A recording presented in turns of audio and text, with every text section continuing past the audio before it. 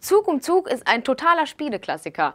2004 ist es sogar Spiel des Jahres geworden. Und es gibt inzwischen so viele Varianten und Erweiterungen, dass man irgendwie gar nicht so recht weiß, welches man am liebsten spielen möchte. Das hier ist Zug um Zug meine erste Reise. Eine Zug um Zug Variante für die kleinen Weltenbummler unter euch.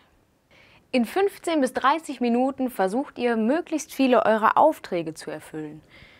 Das macht ihr, indem ihr die Städte, die auf euren Zielkarten abgebildet sind, miteinander verbindet.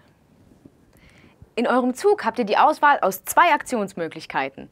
Ihr könnt zwei Karten vom Nachziehstapel ziehen. Das sind Wagenkarten und die braucht ihr ganz dringend, damit ihr die Strecken auf dem Plan bauen könnt. Und das ist auch schon die zweite Aktionsmöglichkeit. Ihr könnt so viele Handkarten von euch ausspielen, wie die Strecke anzeigt, die ihr gerne bauen möchtet. Wenn ihr das tut, spielt ihr die Karten aus und stellt eure Waggons auf die jeweilige Strecke. Derjenige von euch, der es als erster schafft, sechs seiner Zielkarten zu erfüllen, gewinnt das Spiel und erhält das goldene Ticket.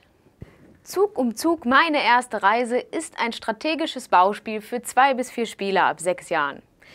Hier findet ihr eine wirklich echt schön gestaltete Version von Zug um Zug, die für die jüngeren Spieler jede Partie zu etwas ganz, ganz Spannendem macht.